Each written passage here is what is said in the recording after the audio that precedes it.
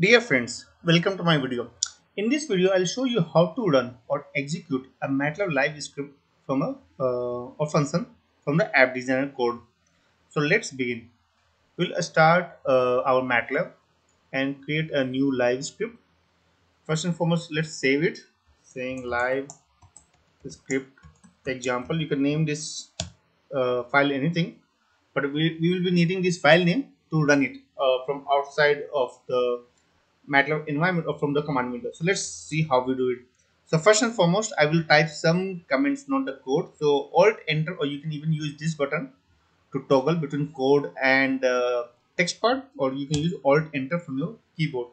So over here, first line I'll do this. Let's initialize uh, here, live array. Yeah, and then I'll go into the code mode and here I'll create a variable called and that will probably be that will start from 2 step size could be 3 and end at 50 so I'm expecting it to be a size of somewhere around 17 because uh, yeah 3 6 9 uh, no or uh, 2 5 uh, and 8 and yeah so and so forth. So let's see how it comes up. After this my next line will be to plot this. Plot the array. Okay and uh, I will put it plot x. Perfect. I'll save it. And now I will first run it over here. So to run the any particular uh, part you can just press alt enter. And you can see the particular array is defined the workspace the variable and also the plot has come up. You can also run this code from outside uh, from the command window by live script example and it runs and it creates the same plot over here. Perfect. Uh, before we get into the app designer, I will also do one thing. I'll create another uh, live script and this time I'll create a probably a function, uh, not a script. So I'll just say live function and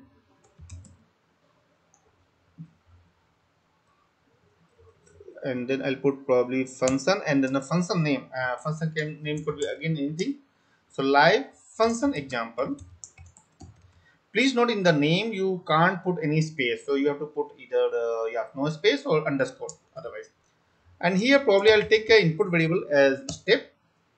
And here again I'll create another variable called y equal to uh, same. I will use the same what I'm using there 2 and then the step size. So here since the step is an input variable I'll put it just like this and the end will be at 50 okay and then same I will do is plot of y. Perfect. I will also do one thing. Uh, since we are creating y as a function uh, variable oh, first let me run this and show you. Okay I have to save and for saving uh, it's uh, by default it's auto automatically fetches the function name so that's good. I'll just click yes. It saves. And now if i run this uh, code so since this is a function we can't run it uh, directly. So what we can do or what we have to do over here is we can run it using live function example. And once we run it we'll see. And we'll see that uh, there is some error by the way and that's because the not enough input argument. So if you see we have to give some kind of step size that we have missed out. So i will do one thing. I will give some step size. Probably i'll keep it same as 3 what we use for the other one. And we'll see a particular plot has come up because of this line number 6 but this variable y is no more appearing in the workspace because this is a work base workspace. And the variable it got created over here is for function workspace so to create a variable in base workspace, what we can use is we can use assignin a function base and then the variable name and what the value. So value will be y. You can you can we can use anything or probably I'll change to y underscore base to show that this y and this variable which will get created in the workspace is although the values are same but it's uh, different a little bit different. Okay, so once uh, we have it, then I will rerun this code and if you see this time a variable has also been created over here. And the plot would be somewhere over here. Yeah perfect. Okay so this uh, these are the two scripts or two files which will be using the live uh, live scripts and live function in our uh, app designer. So now let's go back to the home tab and let's quickly create our app designer. So just click on this button. Let it come uh, uh come up.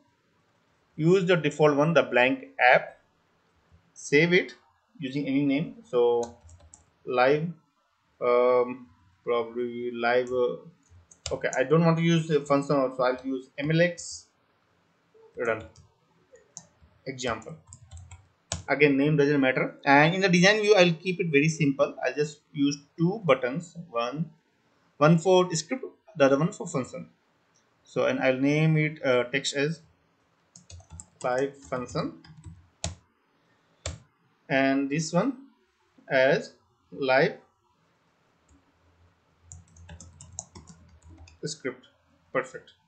Okay and apart from this i will do one thing. I will just create the callbacks for both of these buttons. So this one got created for live script the first one. If i put on the second one and then i can reuse the one which i created for the script but i can also create the other one for function. So if you see this one is for script and this one is for function so over here we don't have to do anything much. We have to just call these functions. So whatever we have used here we have to do it again. So i'll first use the script control c. And if i should quickly go here and control v that's all. And similarly for live function button as well uh, what we have to do is we have to just put this. And yeah instead of step size 3 probably i'll change it to something different so that it's visible when the plot comes up that's it. So it's so simple. You have to use whatever the command we are using in the command line to run those files. That's all we have to use. If, if i'm testing it so if you see right now the moment i press the live script uh, the plot has come up and i am pretty sure this is for 2 to 50 uh, with the step size of 3 and that we can quickly check. And this is for step size of 8 so that's why if you see the data points has decreased to 7 only although the numbers remains from 2 to 50 because the initial and end point are the same for both. So yeah both are working. And uh, yeah that's all. So i just wanted to show you how simple and easy it is. Just create a live script and then uh, use this command line uh, apis to call that particular file uh, and then it will run that particular uh, uh, method. So that's all. I hope this video is useful to you. If you have any questions or suggestions then please put in the comment section. And if you like this video then please subscribe to our channel. Thank you and have a nice day